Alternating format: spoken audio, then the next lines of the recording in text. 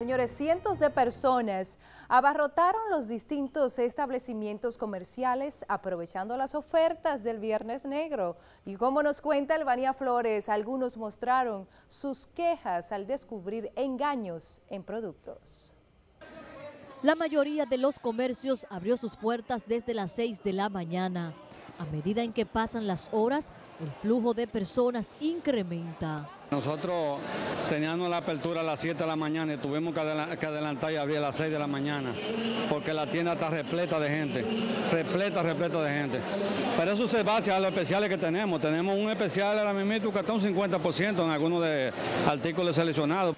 En este año, los artículos más vendidos fueron televisores plasmas y prendas de vestir. Esta es una televisión de 49 pulgadas, está a 30 mil pesos, mientras los precios son 50, 55.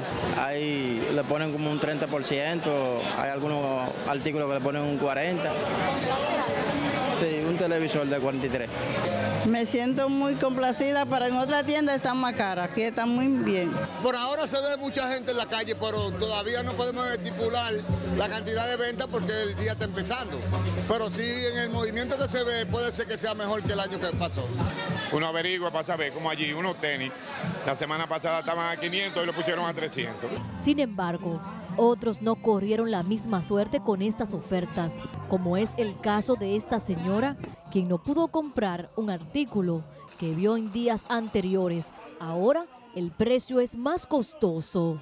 Vi el mueble que me interesaba, estaba en 32 mil pesos y hoy está en, en, un precio mucho más alto y entonces les rebajan, que les rebajan. Aunque entendemos que vamos a tener una pequeña merma con relación a los años, a los años anteriores, producto de que han habido comerciantes que comenzaron demasiado temprano con sus campañas publicitarias, creyendo que al final beneficia el día y lo que hace que lo afecta. Las calles que dan acceso a estos establecimientos lucen intransitables.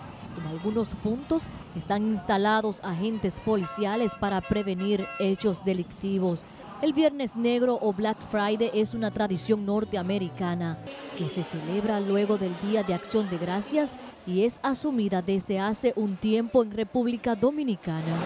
Algunos de estos establecimientos extenderán su horario por demanda en los productos. Elvania Flores, Noticias, Telemicro.